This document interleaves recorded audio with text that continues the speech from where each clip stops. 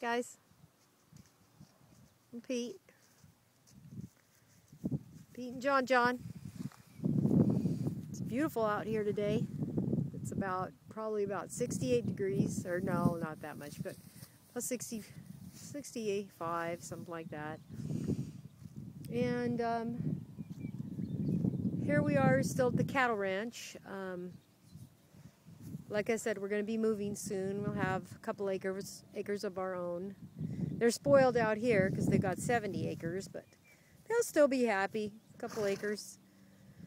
And uh, we won't be renting, so that's a plus. Anyway, they're just loving this grass. It's so lush and green and beautiful right now. And they're fatties, that's for sure.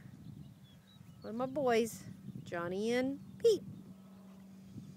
Dixie, here she comes. Hi, Duck. Hello, sweetheart. What's my girl doing? She's having a run. She's been chasing birdies. Birdies. Birdies, birdie, birdie, birdie, birdies. Birdie, birdies. Yep. Okay. All right now. Okay. Signing off. He don't don't hurt Dixie.